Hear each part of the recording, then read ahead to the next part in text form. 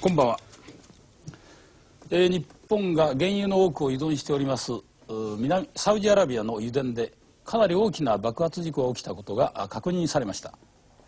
それから本土復帰5年を迎える沖縄県民の意見を知るための NHK の世論調査がまとまりました、それでは次のニュースです、沖縄県の知事をしておりました屋良長病さんは沖縄が本土復帰をしました時に沖縄の戦後について、苦渋に満ちた、受難の長い茨の道のりだったと、まあ、こう形容しておりました、まあ、その日からこの15日で、えー、満5年の月日が経つことになりますが沖縄の県民の人たちはこの日をどういう気持ちで迎えようとしておるのでしょうか。昨日はフィルムリポートでお伝えしましたが今夜は NHK がこのほど現地で行いました世論調査をもとに県民のいろいろな声を拾っていました。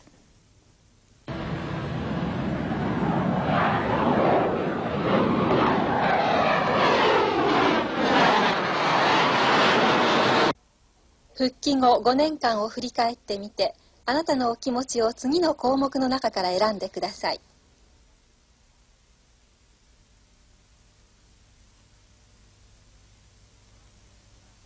あのね、復帰5年なんだけどもあなたにとってどうだった？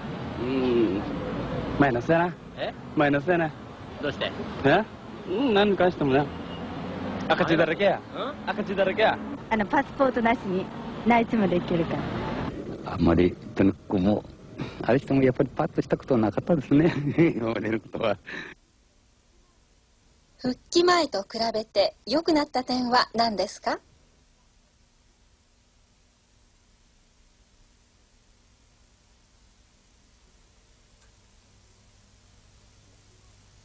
復帰前と比べて悪くなった点は何ですか？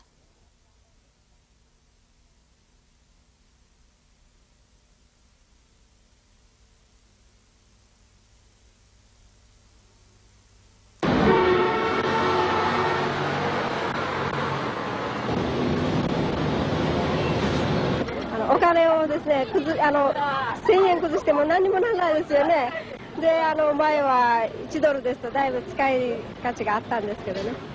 できる子は大学までも行かさないといけないし物価は上がるし まあ生活帯でも上がっていますでしょう。そうとその時まであまり電気製品も入ってませんでしたからねどの時代は。もう復帰してからずっと電気製品いろいろなもの上がって入ってますでしょ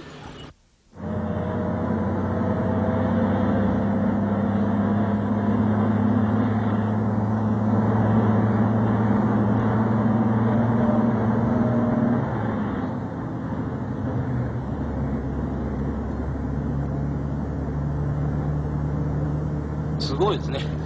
やってからしょうねしょこれ。もうやってあるんだからよ。なんと東海なんとかんでけど。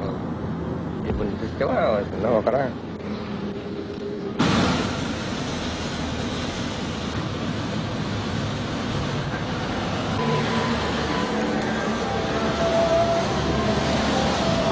これ何の警備ですか？うん。何の警備ね丸棒警戒だね。暴力団警戒ですねこれ一日中あれですか？はい24時間警戒です。毎日？毎日。沖縄県で失業者が多い原因はどこにあると思いますか？